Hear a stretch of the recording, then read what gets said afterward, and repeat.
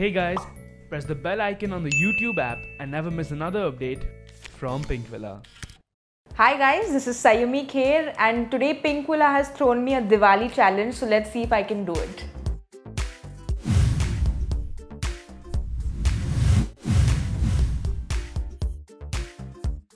So guys, this is a left hand challenge. I'm supposed to light up these diyas and make a pattern and let's see how many I can do in 4 minutes.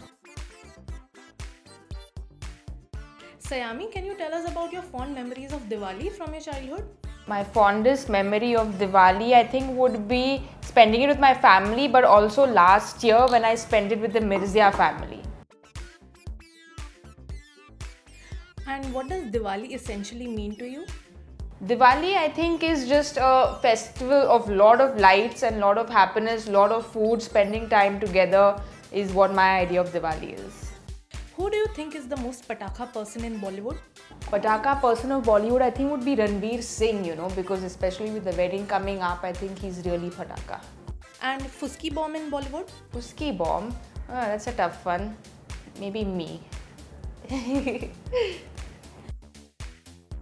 How do you essentially spend your day on Diwali? So on Diwali, I always go to my uh, family, which is in Nasik, and uh, we always spend it together. You know, lighting up the house, making good food, and eating the food. Which is your favorite sweet when it comes to Diwali? Uh, I think you know I'm not a big sweet person, but uh, there's this sweet like kanolas. I don't know what it's called in Hindi, but that's something which I really like. Which sweet can you make the quickest? Chocolate brownie. Does that count? Diwali sweet? Oh, I can't make any Diwali sweet. And can you tell us where you want to be on Diwali? Uh, so we I actually travel a lot during Diwali uh, with my family. So we went to New Zealand a few years ago, which is beautiful. So maybe New Zealand. Finally, can you tell us the significance of Diwali in your life? Significance of Diwali is just light and bringing light and happiness to other people.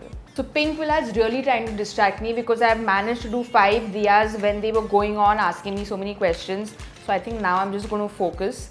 This one's really tough because I have to light this just with the left hand. Let's see if I can do it. Yeah, there goes.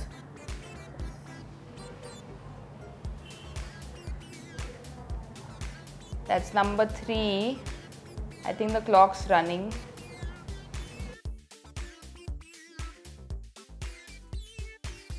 So the last one to go.